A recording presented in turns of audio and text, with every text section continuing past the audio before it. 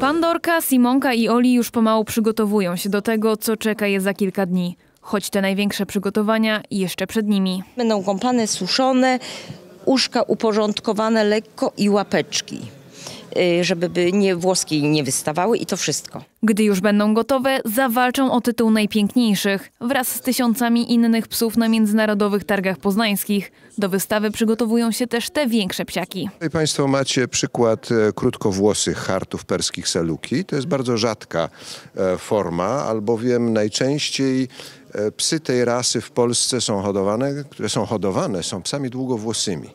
A krótkowłose to stanowią ewenement. I właśnie takie wyjątkowe psiaki będzie można podziwiać podczas dwóch międzynarodowych wystaw psów. W Poznaniu pojawi się ponad 250 najróżniejszych ras z całego świata.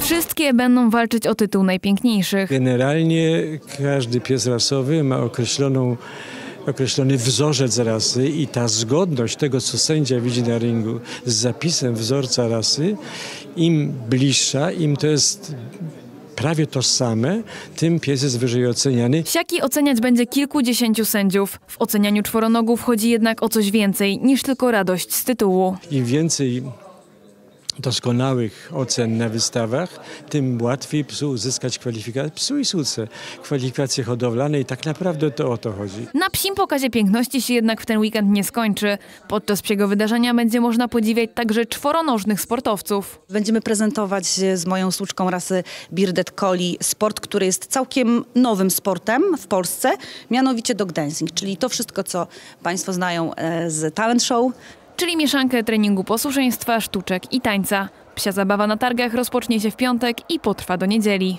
Klaudia Stefens, Puls Dnia.